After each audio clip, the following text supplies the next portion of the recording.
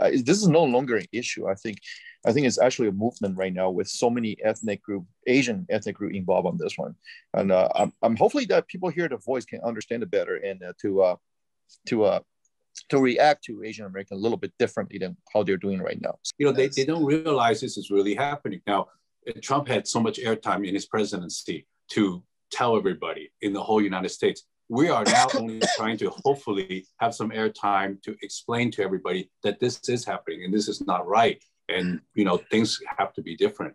So I guess that's, you know, whatever I can do to support that cause. I mean, that, that's, that's what I'm trying to do.